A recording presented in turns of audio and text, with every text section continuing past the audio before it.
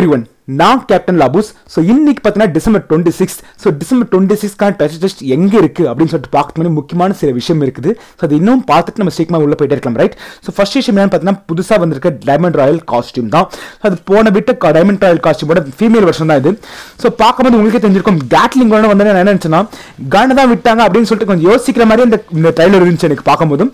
But இந்த மூஞ்ச பார்த்தீங்கன்னா ஒரு பாட்டி மூஞ்சி மாதிரி தான் இருக்குது. தூரத்துலேருந்து பார்க்கும்போது உங்களுக்கே தெரிஞ்சுக்கும் நல்லா மேக்கப் போட்டு அப்படி இருக்க மாதிரி தான் இருந்துச்சு. நான் நேற்று நைட் வந்து பார்த்தீங்கன்னா லைவ்லயே ஒரு ஸ்பின் பண்ணி பார்த்தேன் டூ ஓ கிளாக் மேலே. எனக்கு கிடைக்கல. சும்மா ஸ்பின் பண்ணி பார்த்தோம். மற்றபடி பார்த்தீங்கன்னா இப்போ பார்க்குறேன்னு கூட சொன்னாங்க. ஏர் வந்து நல்லா இருக்குது. ட்ரெஸ்ஸு பார்த்தீங்கன்னா ட்ரெஸ்ஸு கூட பரவாயில்ல. ஸோ உங்களுக்கு ஸ்பின் பண்ணால் கிடச்சிக்கும். மற்றபடி இங்கே எது ரொம்பவே ஓவரில் பாரு மாதிரி இருக்கும் பார்த்தீங்கன்னா அந்த கிளாஸ் தான். நல்லா ஒரு பெரிய டீலக்ஸ் பஸ்ஸோட கண்ணாடி மாதிரி தான் இருக்குது. அது பார்க்குறதுக்கு மூஞ்சில் சுத்தமாக செட் ஆகல அந்த பஸ் ஐ மீன் கண்ணாடி செட் ஆகலை. ஸோ வேற என்ன ஒரு விஷயம்?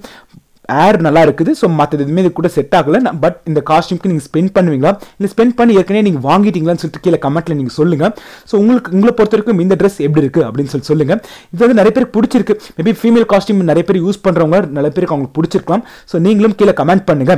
தென் வேறு என்ன ஒரு விஷயம் பார்த்துக்கிட்டிங்கன்னா புதுசாக பார்த்தீங்கன்னா diamond royal I mean top up diamond top up வந்து விட்டுருக்காங்க இன்னைக்கு. ஸோ இன்னிலேருந்து வந்திருக்கு. ஸோ என்னன்னு பார்த்துட்டீங்கன்னா நீங்கள் ஒரு ஒரு ஹண்ட்ரட் டைமண்ட் டாப் அப்புக்கும் உங்களுக்கு ஒரு ஒரு லூட் கிரேட் தர போகிறாங்க ஸோ இந்த லூட் கிரேட் அப்படி என்ன இருக்க போதுன்னு பார்த்தீங்கன்னா elemental top gun top up தான் பேர். அதனால் எலமெண்டல் கன் சம்மந்தப்பட்ட டாப் அப் தான் உள்ளே இருக்க போகுது. மேபி உங்களுக்கு கிடச்சா கிடைக்கும்னு நினைக்கிறேன். மேபி இல்லைன்னா உங்களுக்கு சில கிரேட் கொடுப்பாங்க. எப்போ இப்படி ஃபார்ட்டி டைமண்ட்ஸ் கொடுத்து நீங்கள் வாங்கும் போது உங்களுக்கு வந்து கிரேட் கொடுக்குறாங்க ரைட் ஸோ இதுக்குள்ளே பார்த்தீங்கன்னா மேபி ரேண்டமாக அஞ்சுலேருந்து பத்துலேருந்து பத்து வரைக்கும் அது மாதிரி பார்த்தீங்கன்னா ரேண்டமாக கிரேட்டும் இருக்கலாம். இல்லை டக்கு உங்களுக்கு கண்டு கிடச்சாலும் கிடைக்கலாம். ஸோ இட்ஸ் சர்ப்ரைஸ் தான். Start rate open to receive exciting rewards தான் போட்டிருக்காங்க. நம்ம கண்டிப்பாக டாப் அப் பண்ணி பார்த்தா தெரியும். ஸோ நீங்கள் யாரும் டாப் அப் பண்ணீங்களா? பண்ணும்போது உங்களுக்கு என்ன கிடச்சுன்னு சில கீழே கமெண்ட்டில் சொல்லுங்கள் நம்ம தேர்ட் விஷயத்துக்குள்ளே போயிடலாம். ஸோ தேர்ட் விஷயம் என்னன்னு பார்த்தீங்கன்னா இன்னைக்கு நம்ம பார்க்க போகிற தேர்ட் விஷயம் என்னன்னு பார்த்தீங்கன்னா சூப்பர் செல் தான். ஸோ சூப்பர் செல்குள்ள சீக்கிரமாக உள்ளே போய் நம்மளுக்கு வந்து எலைட் பாசலில் கிடைக்குதா? மிஸ்டர் அப்போ என்ன வருமா வரலையான்னு தெரியல. ஸோ நீங்கள் மிஸ்டர் இதுக்கு மாதிரி நான் நிறைய பேர் வந்து வெயிட் பண்ணிட்டு இருந்தீங்கன்னா கம்மி கம்மி காஸ்ட்டில் வந்து கம்மி டைமெண்ட்ல வந்து நம்ம எயிட் பாஸ் போடணும்னு வெயிட் பண்ணிட்டு இருந்தீங்கன்னா என்ன மாதிரியே? ஸோ கண்டிப்பாக நீங்கள் மிஸ்டாப் வராத பட்சத்தில் நீங்கள் சூப்பர் செல்லில் தான் போட்டாகணும் ஸோ அது எப்படி போடலாம்னு சொல்லிட்டு நம்ம உள்ள போய் பார்த்துட்டு இருக்கலாம் ரைட் ஸோ சூப்பர் செல்லில் பார்த்தீங்கன்னா இந்த வாட்டி விட்டுருக்க எக்ஸ்க்ளூசிவ் காஸ்ட்யூம் என்னன்னு பார்த்தீங்கன்னா டைனோ தான். ஸோ டைனோ பார்த்தீங்கன்னா அது காஸ்ட்யூம் வித்தவுட் எனி ஆஃபர் அது பார்த்தீங்கன்னா two thousand diamonds so thirty percent off வரும்போது அது பார்த்தீங்கன்னா தௌசண்ட் ஃபோர் ஹண்ட்ரட் டைமண்ட்ஸ் வருது பட் செவன்ட்டி பர்சன்ட் ஆஃப் வரும்போது ரொம்பவே கம்மியாயிடும் அது. ஸோ நம்மளுக்கு டைமண்ட் டைனோ காஸ்ட்யூம் நமக்கு தேவை கிடையாது நம்ம ஒரு ஸ்பின் பண்ணி நம்ம ரிஃப்ரெஷ் பண்ணிட்டே போயிடலாம்.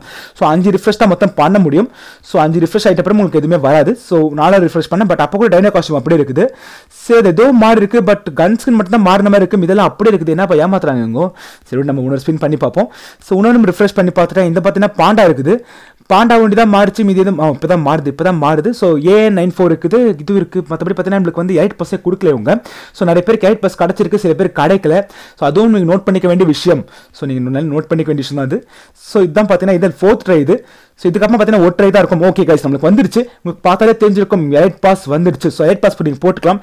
ஸோ மேக்ஸிமம் நீங்கள் ஒரு எயிட் பாஸ் மட்டுமே நீ வாங்குறதா இருந்தால் கூட தேர்ட்டி பர்சன்ட் ஆஃப் போகிறனால ஃபைவ் ஹண்ட்ரட்லேருந்து ஒன் ஃபிஃப்டி டைமண்ட்ஸ் குறைஞ்சி போய் த்ரீ ஃபார்ட்டி டைமண்ட்ஸ் உங்களுக்கு வந்துருது. ஸோ எயிட் பாஸ் மட்டும் நீங்கள் நீங்கள் போடுறதா இருந்தால் கூட பார்த்தீங்கன்னா உங்களுக்கு ஒன் ஃபிஃப்டி டைமண்ட்ஸ் இந்த எயிட் பாஸில் உங்களுக்கு சேவ் ஆக போகுது. அப்படி இல்லாமல் நீங்கள் வேற எல்லாம் கூட பண்ணலாம். இங்கே இன்குபேட்டர் வச்சர் கூட நீங்கள் வாங்கிக்கலாம். ஸோ வாங்கிக்கிங்கன்னா பார்த்தோம் உங்களுக்கு ஒரே ஹண்ட்ரட் டைமண்ட்ஸில் உங்களுக்கு திருப்பியும் ஒரு பத்து இன்குபேட்டர் வச்சர் உங்களுக்கு அந்த மாதிரி இருக்கும். அப்படி பார்த்தீங்கன்னா உங்களுக்கு ஃபிஃப்டி பர்சன்ட் ஆஃப் ஸோ இது கூட சேர்த்து நீங்கள் வேறு எதனா ஒன்று வாங்கணும்னு முடிவு பண்ணிங்கன்னா மேபி இந்த காஸ்ட்யூம் ரோலர் பண்டில் நீங்கள் வாங்கணும்னு முடிவு பண்ணிங்கன்னா ஒரே செவன் ஹண்ட்ரட் எயிட்டீன் டைமண்ட்ஸில் உங்களுக்கு இங்கு எல்லாமே சேர்த்தே உங்களுக்கு வந்து கிடச்சிது. அது ஃபோர் ஃபோர்ட்டி நைன் டைமண்ட்ஸ்க்கு அது வர மாதிரி இருக்க போது சரி இல்லை இது எனக்கு வேண்டாம் அப்படின்னு நீங்கள் முடிவு பண்ணிங்கன்னா நீங்கள் இதை எடுத்துட்டு மேபி நீங்கள் இதை கூட போட்டுக்கலாம். எதை பார்த்தீங்கன்னா இன்னுமே ரொம்பவே கம்மியாகி போயிடுச்சு. நீங்கள் பார்த்தாலே தெரிஞ்சிருக்கும். ஃபைவ் சிக்ஸ்டி எயிட் அதாவது ஒரு எலைட் பாஸ் போடுற அமௌண்ட்டுக்கே உங்களுக்கு ஒரு எலைட் பாஸோட ஒரு இன்குபேட்டர் பத்து பத்தோட உங்களுக்கு ஒயிட் ஈகிள் பண்டலோட வரப்போகுது. So அது மாதிரி தான் இது நீங்கள் கண்டிப்பாக இது பார்த்து இது சூஸ் பண்ணி உங்களுக்கு எது வேணுமோ அது மாதிரி நீங்கள் வாங்கிக்கோங்க. கண்டிப்பாக வந்து உங்களுக்கு இது வந்து ஹெல்ப்ஃபுல்லாக இருக்கும். இது ரொம்பவே ஒரு நல்ல விஷயம்.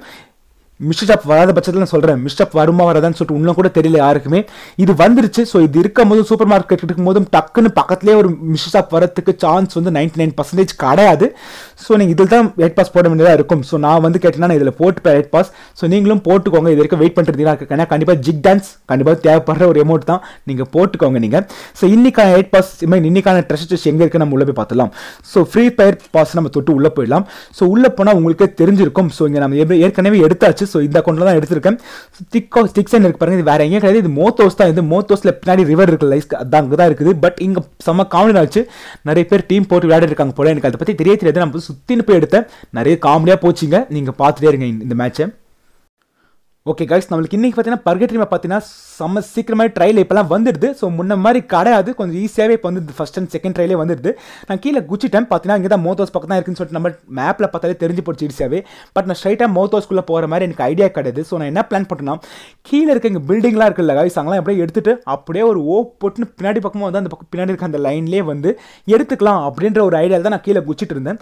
ஸோ என்ன நடந்துச்சு நீங்களே பாருங்கள் ரொம்பவே வேறு மாதிரி போச்சு இந்த மேட்ச் இன்ட்ரெஸ்டிங்காக இருந்துச்சு. பாருங்கள் நீங்கள் இருக்கிற மொத்த கண்ணு எடுத்துகிட்டு போயிட்டு இருந்தேன். க்ளோவால் அது இதுன்னு சொல்லிட்டு எப்படினாலும் போய் ட்ரெஷர் டெஸ்ட் எடுத்து நான் ஹெல்மெட் தான் நான் போகிறேன் எதுக்கு இவ்வளோ எடுத்தேன்னு சொல்லிட்டு எனக்கே அப்போ தெரியல. பட் நான் பட் ஹெல்மெட் ஆகலை இந்த வாட்டி.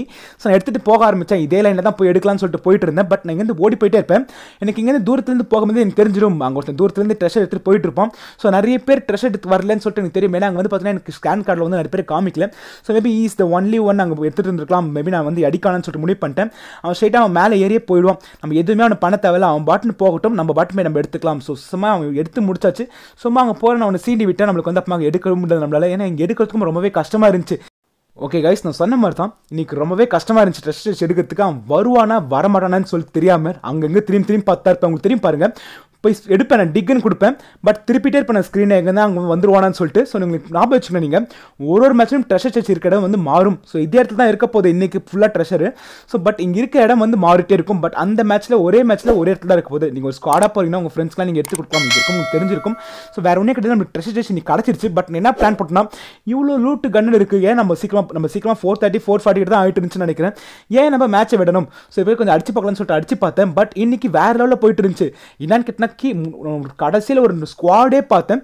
அப்படி ஒரு டீம் போட்டிருந்தானுங்க. நாலு பேர் ஒன்றா சேர்ந்துட்டு இருந்தானுங்க மேபி அவனுங்க இங்கே ட்ரெஷர் எடுத்து தான் அங்கே போயிருக்கலாம். இங்கே நான் ட்ரெஷர் எடுத்து நான் விட்டுட்டேன் கடைசியில் அங்கே மீட் பண்ண நான்.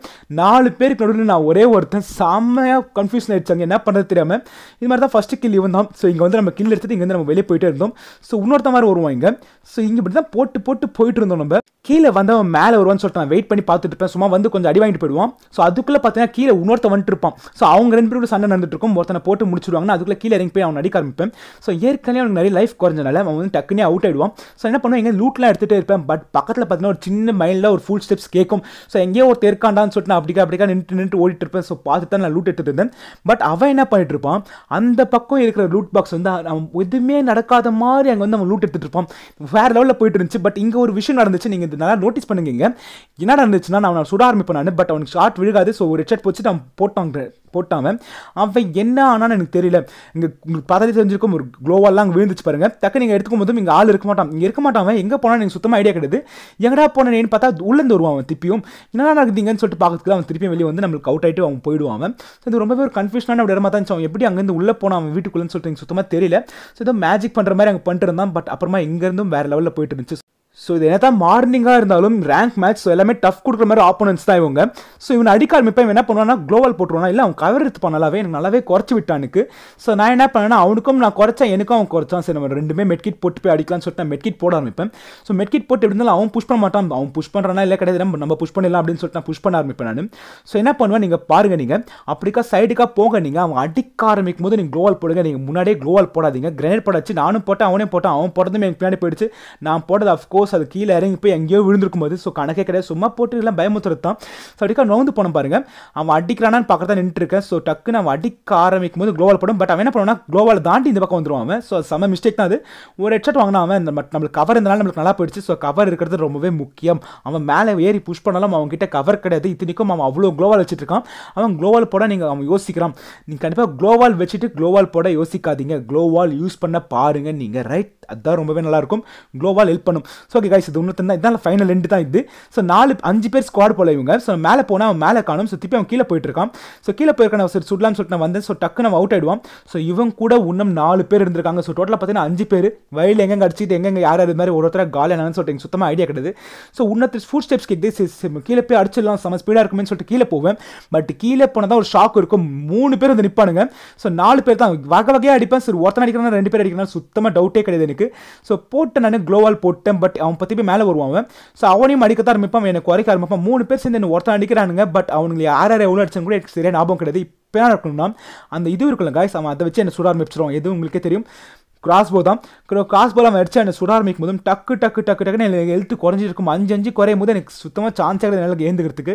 என்ன போட்டும் முடிச்சிடுவானுங்க அதே கிராஸ் போல் ஸோ முடிஞ்சிருச்சு இந்த மேட்ச் எனக்கு எனக்கு பொறுத்த வரைக்கும். இவனை நான் வந்து ரிப்போர்ட் டீமிங் தான் கொடுத்துட்டு வந்தேன் of course it's rank match so report teaming அவன் வந்து விளையாட்டு அடிக்கிறானுங்க. ஸோ அஞ்சு பேர் இருக்காங்க. நான் ரிப்போர்ட் மீமிங் கொடுத்து தான் நான் வந்தேன். ஸோ நீங்கள் இது மாதிரி ரேங்க் மேட்ச்சில் பார்க்கும்போது ரிப்போர்ட் பண்ணுங்க. ஸோ ரிப்போர்ட் பண்ணும்போது நல்லது. மற்றபடி வேற என்ன ஒரு விஷயம் பார்த்தீங்கன்னா கஷ்ட மேட்ச்சில் இது மாதிரி பார்த்தீங்கன்னா கொடுக்காதீங்க. மேபி இருந்தாலும் கொடுக்காதீங்க. பார்த்துக்கோங்க நீங்கள் ரைட் சூப்பர் தான் கைஸ் ஓகே ஃப்ரெண்ட்ஸ் கண்டிப்பாகவே இந்த வீடியோ உங்களுக்கு இன்ஃபார்மேட்டிவாக இருந்திருக்கும்னு சொல்லிட்டு நான் நம்புறேன். கண்டிப்பாக இந்த வீடியோ வந்து உங்களுக்கு இன்ஃபார்மேட்டிவாக இருந்துருந்துச்சுன்னா மறக்காம thumbs up subscribe and bell ஐக்கான்லாம் அமுத்திடுங்க. முடிஞ்சிருக்கும் உங்கள் ஃப்ரெண்ட்ஸுக்கும் ஷேர் பண்ணி விட பாருங்க. தென் வேற என்ன கலர்ஸ் கண்டிப்பாக நான் உங்களை வந்து மீண்டும் ஒரு நல்ல பதிவில் நான் நாளை சந்திக்கிறேன். ஸோ இத்துடன் நான் விடைபெறுகிறேன். நான் உங்கள் கேப்டன் லாபூஸ் கைஸ் பாய் வாழ்க்கை ஒரு மேடுடா. அதுல திரும்பி பார்க்காம ஓடுடா. லைக் பட்டனை போடுடா உன் கருத்த கமெண்ட்ல சேருடா. மறக்காம சப்ஸ்கிரைப் பட்டனை அமுத்திடுங்க மக்களே.